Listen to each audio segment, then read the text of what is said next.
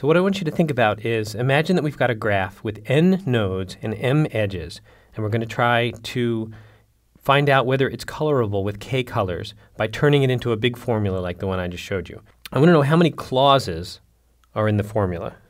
And just to make that a bit more concrete, a clause is the sort of thing that I've got here in parens. It's between the ands. We have a list of things that are combined, and then there's an and, and then there's uh, more things that are combined and an and. So, how many things are being anded together in the formula? So, I want you to figure out an actual expression in terms of k, n, and m that will tell you the answer, but I'll actually ask you to do it for just a concrete example. So, imagine we've got three colors, eight nodes, and 20 edges. How many clauses are in the formula that result from converting this three colorability problem into a satisfiability problem? And when you have your answer, write it in this box and we'll check it for you.